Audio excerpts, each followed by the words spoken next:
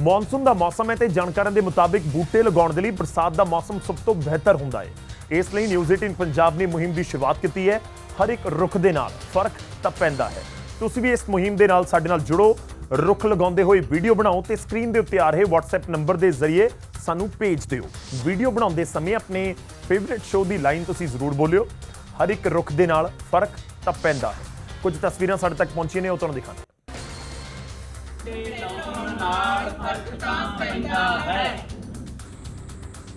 ਬੁੱਟਾ ਲਾਉਣ ਦੇ ਨਾਲ ਫ਼ਰਕ ਤਾਂ ਪੈਂਦਾ ਏ। ਇੱਕ ਰੁੱਖ ਲਗਾਉਣ ਨਾਲ ਫ਼ਰਕ ਤਾਂ ਪੈਂਦਾ ਹੈ। ਧਰਤੀ ਬਚਾਉਣ ਲਈ ਹਰ ਘਰ ਵਿੱਚ ਇੱਕ ਰੁੱਖ ਲਾਉਣ ਤੇ ਫ਼ਰਕ ਤਾਂ ਪੈਂਦਾ ਹੈ। ਤਾਂ ਸਾਡੇ ਦਰਸ਼ਕਾਂ ਦਾ ਰੁਝਾਨ ਬਹੁਤ ਜ਼ਬਰਦਸਤ ਤਰੀਕੇ ਨਾਲ ਸਾਨੂੰ ਮਿਲ ਰਿਹਾ। ਬਹੁਤ ਸਾਰੀਆਂ ਵੀਡੀਓ ਸਾਡੇ ਕੋਲ ਪਹੁੰਚ ਰਹੀਆਂ ਨੇ ਤੇ ਅਸੀਂ ਕੋਸ਼ਿਸ਼ ਕਰ ਰਹੇ ਹਾਂ ਕਿ ਵੀਡੀਓਜ਼ ਤੁਹਾਡੇ ਤੱਕ ਪਹੁੰਚਾਈਏ ਆਪਣੇ ਸ਼ੋਅ ਦੇ ਜ਼ਰੀਏ। ਇਹ ਵੀਡੀਓ ਕਲਿੱਪ ਤੁਸੀਂ ਸਾਡੇ ਫੇਸਬੁੱਕ ਅਤੇ YouTube ਅਕਾਊਂਟ ਦੇ ਉੱਤੇ ਜੋ ਨਿਊਜ਼ 18 ਪੰਜਾਬ ਦਾ ਹੈ, ਉੱਥੇ ਜਾ ਕੇ ਵੀ ਇਹ ਵੀਡੀਓਜ਼ ਦੇਖ ਸਕੋਗੇ।